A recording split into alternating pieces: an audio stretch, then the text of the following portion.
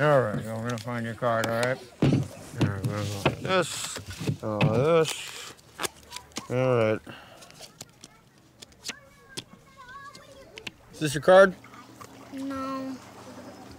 Don't dick with me, kid. This is your card. I know it is. No, it's not. Shit. Hold on. You suck. Yeah? Well, I could use a bigger audience. How come your friends aren't over here watching the show? No one wants to play with me. Come on, you're the birthday boy. Everybody should be smoking your Kool-Aid. Yeah, you know what? Screw them. Let's, uh, I'll do another trick. Whatever. Magic flame.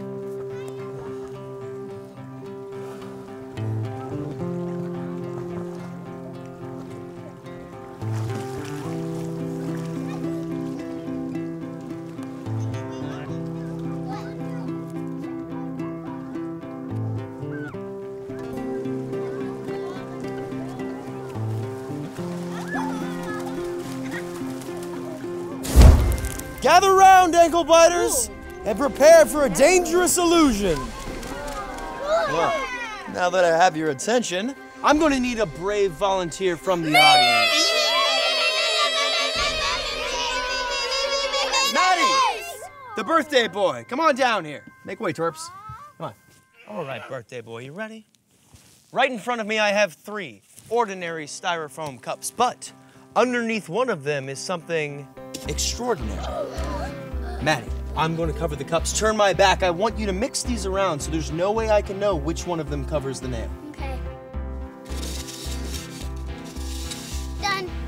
We all agree that there's no way I can know which one of these covers the nail. So it'd be pretty silly for me to assume that it's not this one. Ah! whoa, whoa, whoa. Pretty cool, huh?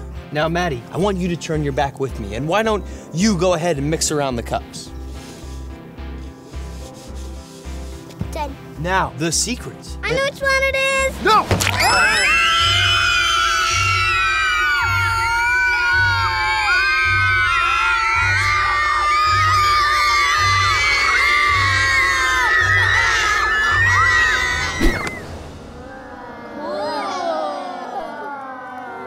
Magic Matty, everyone!